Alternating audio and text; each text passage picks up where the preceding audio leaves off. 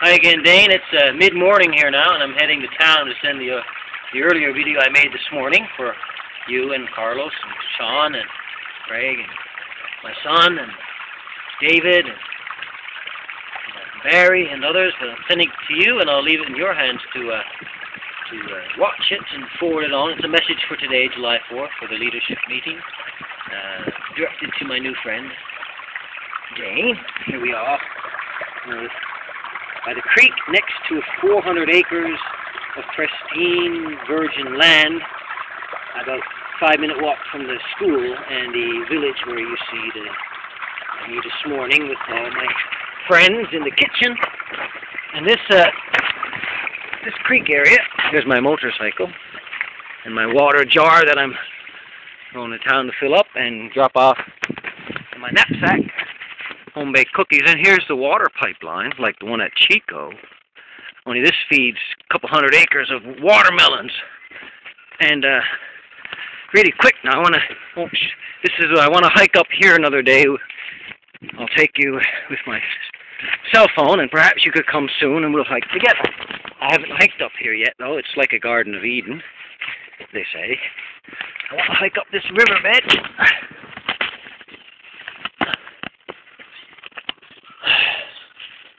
And uh,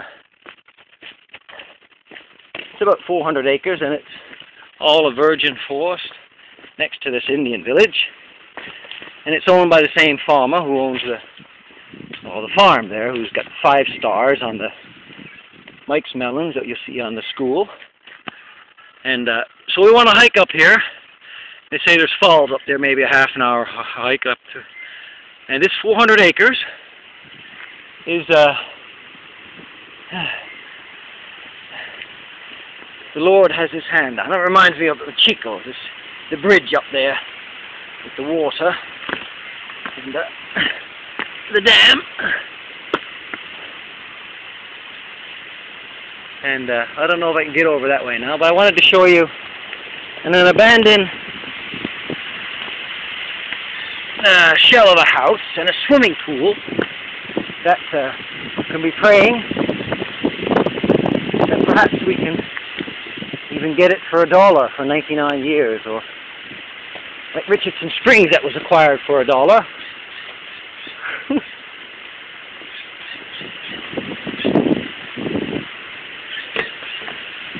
Chico's metal pipe, this is plastic.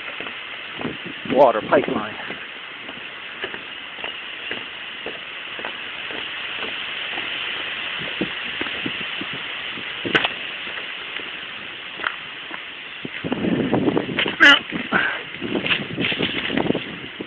As you can see, I took a picture of it just now on your email. You can see the chopped down trees in this sacred area. And uh, for these power lines that's coming through from Spain, Cobras from Spain, the Terror Group. And here is one of, is a footpath leading up to Imagine Richardson Springs abandoned. Concrete walkways made of rocks and overgrowth everywhere. The steps, the rock steps.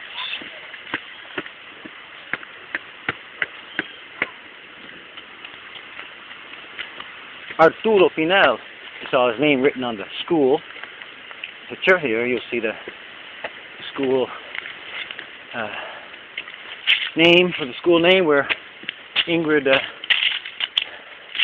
director, gave you a message from the mall. And here is the walkway up into the old homestead of the, the Cecil Cooper, the Richardson homestead down there. I don't know if you found that yet, the old homestead.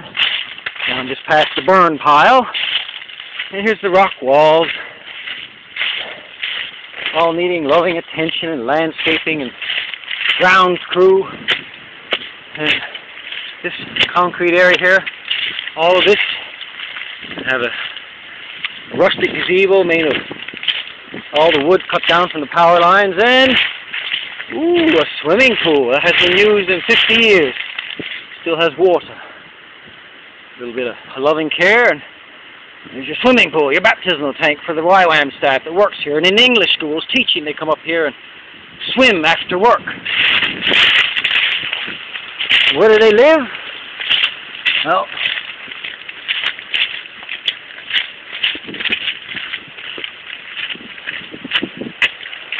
I'd actually like to live here.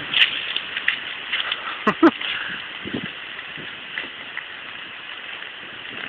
can see this used to be a balcony here, concrete. Used to be a balcony to keep the rain here. You could have your rocking chairs here and the roof above your head. This is the entrance to the living room. We keep these strong pillars, take the concrete blocks out, and we use rocks and have a rock house made of all the rocks around here. Solid rock house, and we can use uh, the, the large hardwood beams for beams, not square. We use rustic kind of beams and make it modern looking, modern looking inside. And this is a wash basin and to wash with. This is a closet. This is in a, I think it's a toilet. There's a, a hole there for the toilet, and there's the shower. And, uh, extend over that way to make the rooms larger for if you have two or three children. And this is the back room. Not sure quite what this is used. You can see it's got a floor and, and uh, it's quite uh, repairable actually, like a, a complete home makeover.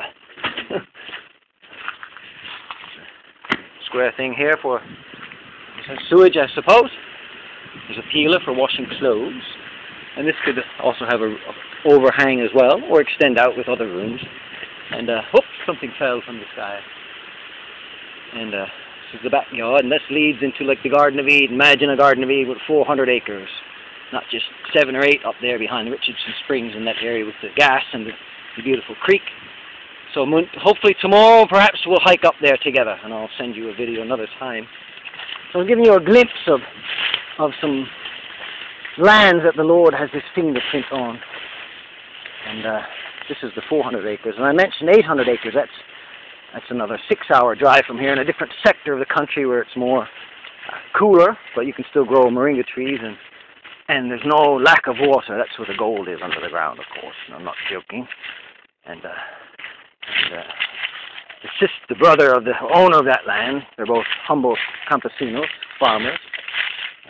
I mentioned earlier that she married into the into the uh, she married uh, an American that was uh, head of the military at one point, and other, I guess, she rumored other sectors of intelligence, I suppose. But he was a Christian, and, and uh, he uh, he died of cancer. And Pocahontas, you'll see another video. She's uh, uh, in the kitchen there. She actually uh, helped him. She li- she lived with the family for a, a year while he was uh, sick and caring for him while his wife was working, I believe, or with the children helping. And uh, anyway, she has that land, and it's a beautiful place for another YWAM refuge, a place of hope and creative last days, uh, abundance and presence of Jesus. And, uh, and this is the road, actually the driveway, up to the house. I originally came up another area over there by the, looks like a, it's an outhouse, actually, it never been developed. It was built, but it looks like it never got finished. And this is the road, actually. With rocks underneath and the, the overgrowth. You can hear the rocks under my feet, the tires of the car. And uh, this is actually the entrance to the estate that uh, um, perhaps the Lord willing will inspire a network of friends from Chico and abroad to uh, to uh, invest here and and uh, that's the entrance, you see. And there's the big power lines chopping down all the trees, ticking off the natives here. But, as you know, the money powers always win, and they get they pay their way politically through to get their way. So to do things against the United Nations number seven development goals, United Nations 2015 Millennium Development Goals. So I'm sure if you're not aware of them, aware of them, you might look them up and ponder them, onto them and apply. I'm sorry, using my British accent. That's uh, I will use that because I have to.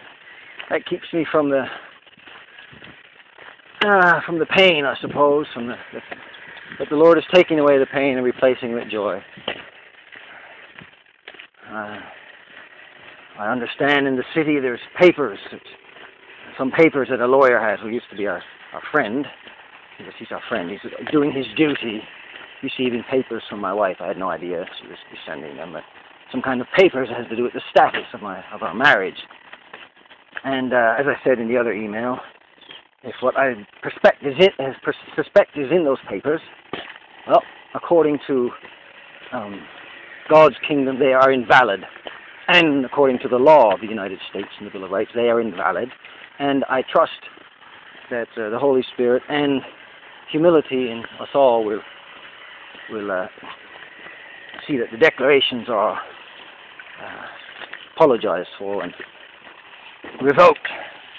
And uh, perhaps my wife will get a everyone in YWAM, the leadership and you, a message and a link to the last video I showed you, and and that uh, their declarations were a grave mistake, a grave error, and uh, come to the table of quiet around the blood under the covering of Jesus and his great sacrifice and, and the history of Mary Magdalene, of course.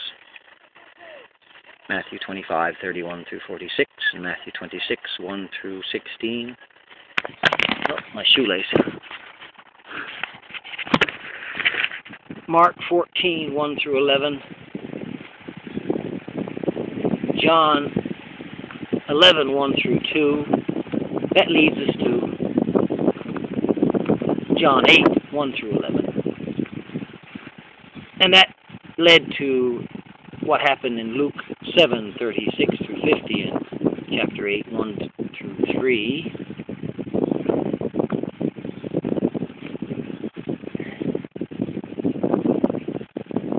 And the second time the lady poured her nard perfume on Jesus' feet was six days before he died, before the Passover, before the Pascha, which is in John chapter 12, 1 through 11. And of course, uh, we already mentioned the last time, which was Mark 14, 1 through 11. The last time she poured nard on his head. And uh, and when Jesus sent the two angels to sit where his nard-smelling feet lay in the tomb in memory of her. An example for us to follow. Always give remembrance of her when we preach the gospel. Cross, redemption, crucifixion, redemp- uh, sanctification, justification, and intimacy with God, because that's what it's all about. Okay, I'm off to the city now, friend. Catch you on the rebound.